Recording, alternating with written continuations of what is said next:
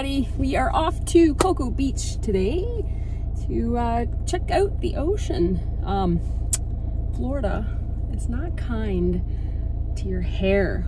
Oh my God. Like frizzy galore. Anybody in my family knows that we have this like ridiculously horrible uh, thin hair that just frizzes out. Like, look at that. I tried to like put it back in a ponytail a little bit, but Anyway, so we're gonna check out the ocean. On the way there, we're going to stop at Lake Jesup to see some alligators. We're on a mission to look for some alligators in their natural setting and we came upon this place that just happens to have a little parrot museum. Ow! What is your name? He wants you to scratch his head, but we're not supposed to touch. So I can't scratch your head. Anyway, it's kind of a cool little find. We're not sure if we're going to see some alligators here in a minute, but uh, doves. Yeah, it's pretty cool. Well, we managed to find some that are caged, but we want to find some that are like for real. So this is Lake Jesup. It's supposed to have the highest population of natural uh, alligators in Florida. So we're at this place called Black Hammock boat rentals or whatever and they've got like this little walkie thing here. So we're just kind of walking around to see if we can see anything but we see a white stick bird. The white stick bird! Oh actually that's kind of a different white stick bird. That's like a little miniature heron or something. He's pretty cute. So we're not sure if we're like walking around somewhere we're not supposed to but we're just kind of walking it's really pretty out here. This is a huge lake.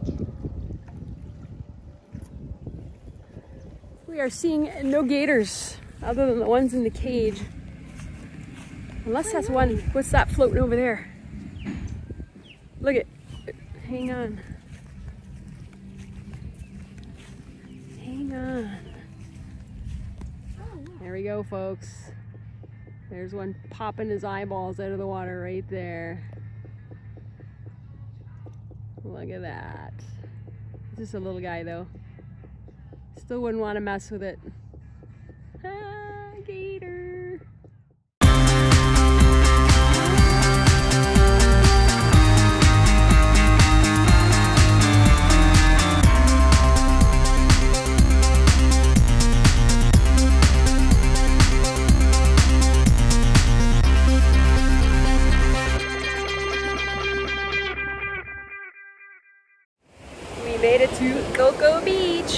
Down by where the pier is because I'm assuming that that'll be a tourist nightmare.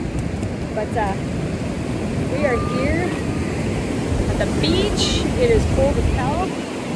River's trying to get some seashells and uh, just trying to tell her not to get caught out in the water because this is not like Lake Erie water.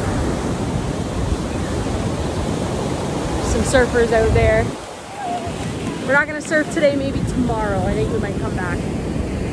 But we did go into Ron Jon's for a few minutes and let me tell you how cool that store is. Oh my gosh. Yay!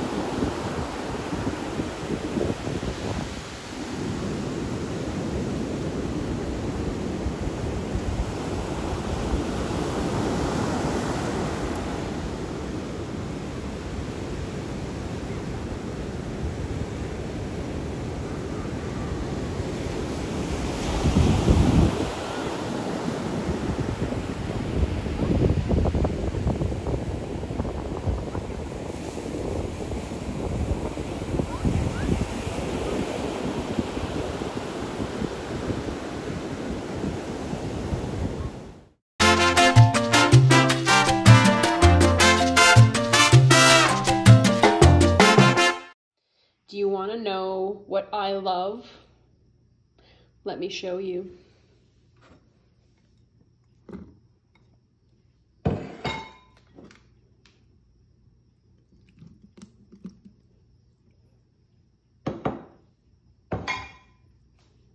Wait for it.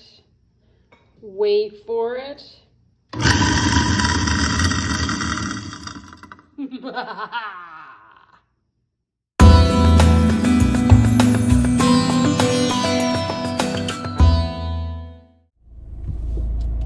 Good morning.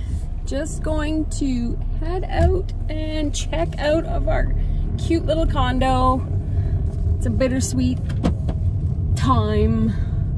Actually, it's really bitter, more than sweet, because we're heading back to stormy weather. Ugh. I absolutely love this place. I heard read reviews saying that they haunt you for timeshare things and all that, but I didn't see a single person probably, with my body language when we checked in, I made it hopefully clear that I'm it's not what I'm interested in. But you know what though? I would stay here again and I would recommend this place to anybody because it's cheap and it's great. Like there's even if you just hung around, which we never did, we never got to enjoy the actual property too much. We did the pools and stuff, but um, it would have been really nice to have spent a little more time here, just to uh, like everything's included in your stay. You can ride the bicycles, you can do putt-putt golf, there's paddle boats, all kinds of fun stuff here to do if you just want to just chill for the day. We never, uh, we were so busy, so. Anyways, we are checking out today's plan. River wants a haircut, so we're gonna get that. And we are gonna go to the Cat Cafe for a little coffee. And then we're gonna hit the outlet malls because rumor has it Florida's really good for shopping. So I'm gonna do that. We'll see you in a bit.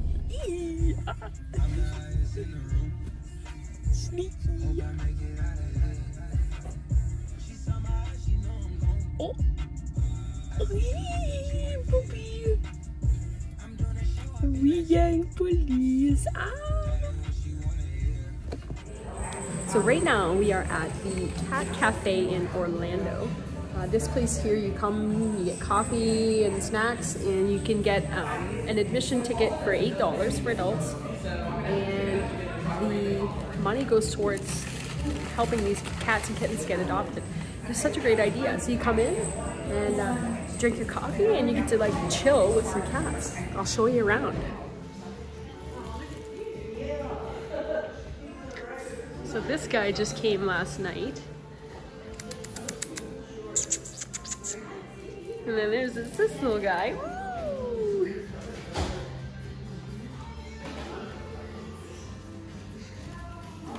And there's couches and all kinds of really nice little spots for them. This is the kitten playhouse.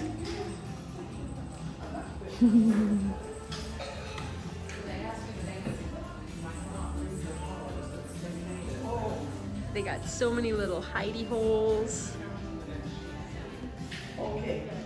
All right. Sleeping wall.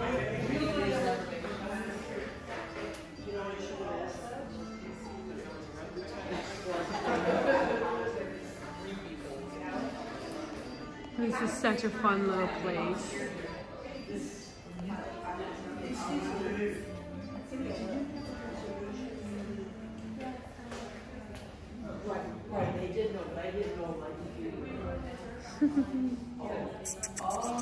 Like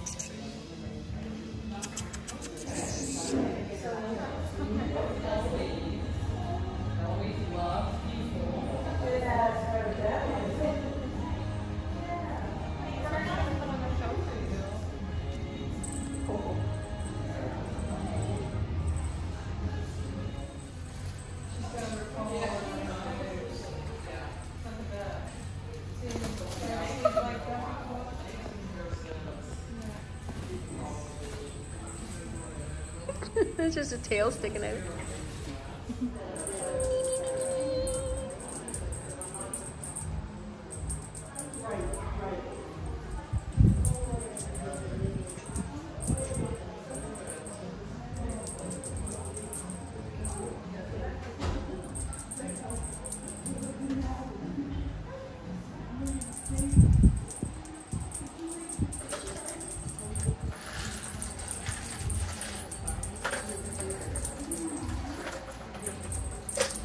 We're trying to kill time today. We have to head back to the airport eventually. About 5.30, our flight's already delayed due to weather at home.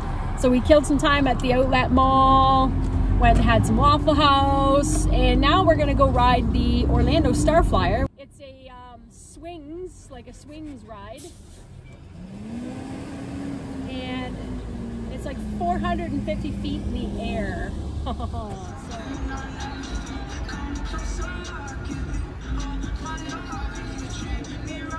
All right, so we weren't allowed to take video up on the Starflyer.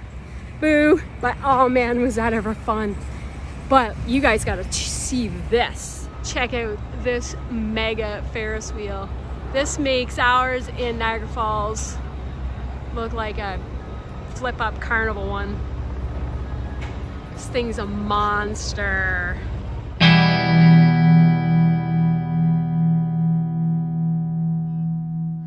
So car rental return at Orlando Airport is awful.